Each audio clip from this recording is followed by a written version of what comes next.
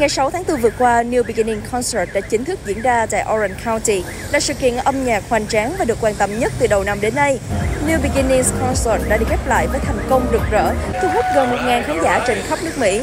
Nhiều khán giả đến từ các tiểu bang khác ngoài Orange County, thậm chí còn là những người đặt vé sớm nhất ngay sau khi thông tin về sự kiện được công bố. Đúng với tinh thần khởi đầu mới, New Beginning Concert không chỉ là tiếng chuông báo rộn ràng cho một mùa mới đến mà còn đánh dấu những khởi đầu đầy hứa hẹn của các ca sĩ trình diễn. Lần đầu biểu diễn ở Orange County trong năm 2024, Lệ Quyên tiếp tục chinh phục khán giả với giọng ca ngọt ngào sâu lắng. Trong khi đó, nam ca sĩ duy nhất của sự kiện, Lex đã có màn debut ngoạn mục. Hoàn toàn chiếm lấy trái tim khán giả khi thể hiện nhiều cá tính âm nhạc khác nhau, khoe chất giọng độc đáo đầy nội lực. Cùng với Lex, Rachel, cô gái bước ra từ cuộc thi The Voice US 2024 cũng đã có màn debut không thể tuyệt vời hơn, nhận được vô vàng lời khen bởi giọng ca trời phú cực đẹp. Cuối cùng là một tên tuổi đình đám ở thị trường hải ngoại, Diễm Sương, nữ ca sĩ từng gắn bó với Thúy Nga Paris by Night hơn một thập kỷ đã khiến cả ngàn con tim yêu nhạc thổn thức bởi giọng ca đầy trải nghiệm. New Beginning Concert được tổ chức bởi Shaobei Entertainment, công ty chuyên đào tạo và quản lý tài năng, tổ chức sự kiện và booking ca sĩ Việt Nam trên thị trường quốc tế. Bên cạnh đó, New Beginning Concert còn có sự đồng hành của đơn vị sản xuất, công ty Gaverklin và các nhà tài trợ Born X, ABM Magazine, Seven Day Dental, Hitline Studio, HAT Group. Dạ, à, chị cho em xin tên và chị đang sống ở thành phố nào ạ? À, chị tên là Trang, còn đây là Thủy. À, ở Sống ở Santa Ana. Dạ, chị. Santa Ana. Chị cũng sống chung luôn, chung nhà. Dạ, thì hôm nay là hai chị kem xem show thì hai chị cảm thấy cái show này như thế nào ạ? À, lần đầu tiên là chị chị coi lệ lệ quyên coi như là trực trực tiếp á thì chị thấy ờ, hát cố hát rất hay mà giống như là cái phòng phòng hát cũng là ấm trầm ấm không? Tuy là không có lớn lắm nhưng mà ấm. Nhưng mà thích nhất là giọng hát. Ừ. Chị ạ? chị thích Lệ Quyên nên hôm nay chị về đến đây để chị xem. Mà phong cách đó lệ quyên cũng nhẹ nhàng nha. Gọi là rất là nhẹ nhàng nữ tính đó bởi vì thích là thích chỗ đó. Dạ. Thì nếu mà chấm điểm cho cái show ngày hôm nay thì à, từ thang điểm từ 1 tới 10 thì hai chị sẽ chấm bao nhiêu điểm ạ? Thôi chị cho 8 điểm. Dạ. Tám chị cho 8 điểm luôn. Dạ. Còn bên cạnh Lệ Quyên thì chị nhận xét như thế nào về những các ờ, nghệ sĩ khác của Việt Nam? à, Rachel gì hả à, Rachel Nguyễn. Dạ. với lại uh, Diễm Sương. Còn Alex thì sao? Alex thì trầm trầm nhưng mà cũng ừ. cũng cá tính đó nhưng mà cũng cá tính đó. À, Dạ. ừ. hai một. Dạ. À, cô chú cho con xin tên và và cô chú đến từ thành phố nào ạ? À, chú ờ, cô chú là Thành với Tuyết Nguyễn à, từ thành phố Torrance. dạ thì à, hôm nay cô chú ờ, dành thời gian đến xem cái show này thì mình cảm thấy cái show này như thế nào? À, thật ra nếu mà nói về ờ, cái cái cảm xúc á, thì có lẽ là họ nhất là Lệ Nguyên thì quá professional rồi cho nên là chuyển tải được tất cả những cái đó. Còn mặc dù là Rachel với ờ, Lex thì mới là show đầu tiên nhưng mà họ có cái cái đam mê cho nên là cái cái đó thì nó nó nó bù lại về những cái thiếu sót về kỹ thuật. Tại vì khi mà có cái đam mê thì thì lúc đó mới có thể đưa cái tâm hồn đến với khán giả được. Thôi. À, nếu như mà chấm điểm từ thang điểm 1 đến thang điểm 10 thì cô chú sẽ cho show này bao nhiêu điểm ạ?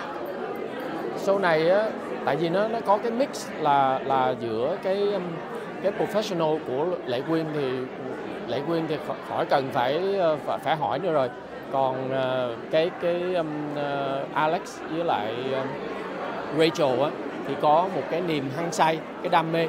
Cho nên là nếu mà mà theo, theo cái cái cái cái đánh giá thì có thể là 8 điểm trên 10 dạ. cô chú có thể dành một cái lời nào đó nhận xét về cái ban tổ chức được không? Ví dụ như là cách mà mọi người vào rạp rồi này kia Ô, đặc biệt là ban tổ chức á, thì chắc chắn là phải có một lời khen. Tại vì đây cũng là lần đầu tiên tổ chức. Mà nếu tổ chức được như vậy là quá tốt rồi. Ờ, thậm chí là có thể nhìn thấy là à, họ là những người đã từng làm ăn. Cho nên là về cái mặt business á, là rất là tốt. Còn về cái mặt nghệ, nghệ thuật thì có thể là là là chưa có đạt được giống như là những cái những cái cái cái, cái show hoành tráng khác. Nhưng mà về khởi đầu nan về về, về Từ cái, từ thì cũng cái, tới cái, nơi cái, thôi. cái, cái, mặt mà business với lại tổ chức á, thì là rất là tốt theo theo kiểu Mỹ rồi. Cái này là mainstream rồi. Họ, họ làm rất là tốt. Có ok. Cảm ơn cô chú rồi cảm ơn. À, chào quý vị, à, sau cái show này Hoàng Quân rất là trước tiên rất là tuy nhiên mình rất là mệt. Nhưng mà trong tâm hồn mình vẫn còn phấn khởi và rất là vui. Và khi thấy nhiều các à, người à, Việt Nam của chúng ta và người ngoại quốc cũng tới à, khu Sài Gòn Grand Center để nghe à, show nhạc của South Bay Entertainment tối hôm nay và nghĩ đi nghĩ lại. Tuy nhiên cái đường lúc ban đầu rất là khó khăn nhưng mà một lần nữa tôi cũng muốn nói là cảm ơn các người trên đội của sao bay. Đó là các anh chị em từ dễ thương từ giúp từng nhỏ từng ly từng tí từng chụp hình từng đạo diễn từng đèn âm thanh từng trang trí hoa. Và sau cái này hoàng quân không biết nói sao nữa. Muốn cảm ơn quý vị và đồng thời rất là cảm động nhiều việc người Việt chúng ta đã tới đêm nay để ủng hộ show tối nay là rất là thành công và mong gặp quý vị trong tương lai. Cảm ơn nhiều. Mình có dự định là khi nào sẽ tổ chức thì bây giờ cho anh nghỉ một tí để tối nay đi ăn uống có thể ăn đi cháo đêm trước ngủ xong ngày mai chắc đi lễ lạy sáng dậy tập thể thao cái soi coi mình mình uh, coi lại coi trong tương lai ngày kế tiếp là ngày nào dạ em cảm ơn okay. thank you thank you thank Lý do mà ngày hôm nay mà để cho anh Quân thực hiện cái đêm diễn ngày hôm nay là mọi người đều được nghe nhắc tới đó là anh Alex và anh Alex ơi cho em hỏi rằng là anh với anh Quân là quen biết nhau bao lâu rồi? Thời uh, Lex với uh, Quân là quen uh, từ uh, xưng tội lúc lúc mà nhỏ Dạ. năm năm à, và tám chín chục tuổi Wow. Dạ, thì dạ cũng thân là, lắm. là mấy chục năm rồi đúng không mấy chục năm rồi Vậy thì với cái niềm đam mê ca hát của anh là đã có bao lâu rồi? thì uh, Lex thì cũng ca trình diễn thì năm sáu năm nhưng mà cái đam mê thì là lúc mà mình nhỏ thì mình muốn muốn ca Dạ. nhưng mà năm sáu năm uh, vừa rồi thì mình tập với coach và mình luyện uh, có giống như là biết uh, technique Dạ. Vậy thì bây giờ cho em hỏi là anh đã bao nhiêu lần để được diễn một cái đêm nhạc mà có thể nói rằng là nó lớn như vậy anh có bị hồi hộp không? Thì đương nhiên là cũng uh, hồi hộp nhưng mà có cái giống như là cái energy thì cũng là uh, nervous energy mà cũng excitement À, nếu như vậy thì ờ, đờ- nếu mà được cho anh một câu nói mà à, xin mọi người hãy ủng hộ anh đó thì bây giờ ờ, ờ, em anh em đếm một hai ba thì anh sẽ nói là xin mọi người đến với ờ, đêm diễn và ủng hộ Alex nha. ok Dạ rồi. Một, hai, ba. em này uh, xin uh, ủng hộ uh, với uh, Alex Yay. dạ rồi Ờ, bây giờ anh Lex cảm thấy năng lượng mình như thế nào thì bây giờ uh, Lex mới uh, uh, trình diễn xong thì cũng uh, mấy mấy bài thì cũng bớt uh, hồi hộp uh, nhưng mà uh, cũng còn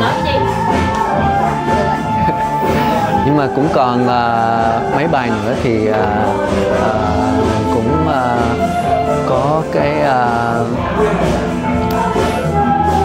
anticipation. Ờ, tại sao là sinh ra và lớn lên tại nước Mỹ nhưng mà anh lại chọn cái dòng nhạc Việt để gửi đến khán giả? Gì em, em nói lại. Dạ. ờ, sinh ra và lớn lên tại nước Mỹ nhưng mà tại sao lại anh lại chọn cái dòng nhạc yêu thích của mình là dòng nhạc Việt để gửi đến cho khán giả ngày hôm nay thì uh, Lex uh, chọn mấy bài Việt Nam nhạc xưa tại vì uh, có mẹ với uh, anh ba uh, hai người là uh, có uh, thích ca uh, mấy bài Việt Nam và, và nhạc xưa. Thì hồi đó Lex cũng uh, ca với mẹ và anh ba thì bây giờ cũng nhớ tại vì hai người đã mất rồi thì uh, Lex có hứa với lúc mà mẹ mất á, thì uh, Lex phải tiếp tục để uh, uh, ca mấy bài Việt Nam lúc mà đi uh, trình diễn. Vậy thì anh nuôi dưỡng cái niềm đam mê với âm nhạc này bao lâu rồi ạ? Anh đam mê thì lúc mà mình nhỏ thì cũng đam mê là ờ, muốn ờ, ờ, ca và hát và giống như người Việt Nam mình cái nhiều người có đam mê như vậy nhưng mà ờ, chỉ có năm sáu năm là anh đi tập luyện với ờ, à, có huấn luyện viên để huấn luyện viên để à, để à, tập cho cho biết ca à, có thuật. Anh cảm nhận như thế nào khi mà được diễn chung với lại tất cả các nghệ sĩ anh anh chị em nghệ sĩ ngày hôm nay? Hôm nay thì à, anh ờ, rất là hào hứng ờ, để ờ, mà ca với các nghệ sĩ và ca sĩ hôm nay đặc biệt là cô Diễm Sương và cô Lệ Quyên. Thì hai người nổi tiếng thì Lex rất là có như là honor to to be on the same stage. dạ thì ờ, sau cái ờ, buổi diễn ngày hôm nay thì anh sẽ có những dự án gì tiếp theo cho những ờ, kế hoạch âm nhạc mới của mình? Có thì à, mới vừa rồi à, à, anh và Rachel đã có book một à, show à, ở Houston à, tháng 5 thì à, anh cũng ra- rất là à, mừng để à, tiếp tục à, và trình diễn à, cho khán giả Việt Nam. trong phòng một cái đèn Coming to you in 3, 2, 1. ok thì em thấy cái show ngày hôm nay đối với em như thế nào và em đã enjoy nó như thế nào ha Đối với em thì I think the show has a lot of variety and it has a lot of stylistic feels to it and I feel like with the crowd tonight it was super diverse so I think we were able to bring a lot of different stylistic sounds to it and like a lot of ear candy coming from me and Lex and with Go Lệ Quyên she sings and caters to my back cô chú and so I feel like overall it was a very good experience and a good show at least for me today. Yeah. thì hôm nay là em có gửi lại đến quý vị khán giả là hai bài hát tiếng Việt thì em tập bài hai bài hát thì có khó khăn không Dạ. Với em thì em cũng hát b- Hương Ngọc Lan với dành cho em là bài đầu tiên mà em cũng um, learn tại vì bà nội ở nhà. Bài đầu tiên bà nội em dạy là Hương Ngọc Lan and so hơi khó lúc nào em nhỏ hơn but right now I it's so it comes to me so easily and I feel like I'm able to show that to the audience and lúc nào em tập ở nhà lúc mà em 7 tuổi em tập ở nhà bố ông nội em đang la và nói đừng có đừng có dạy con em nữa tại vì hơi khó nghe quá tại vì em không có nói giỏi mà bây giờ I don't think he says it anymore so that's a good thing but dành cho em I feel like I was able to carry my emotions in that song and it really showed in today and so I feel like with those songs it came to me naturally today thì em có sự dự tính là mình sẽ học nhiều bài hát tiếng Việt hơn hay không Yeah. Em cũng sẽ tiếp tục tập um, mấy bài hát Việt Nam because I feel like being at a Vietnamese household, I was that was the number thing one number one thing I was taught. So I don't want to put it to the side, and I do want to take that in with my journey. And so learning Vietnamese is something I'll always continue to do, and I'll be able to do both journeys.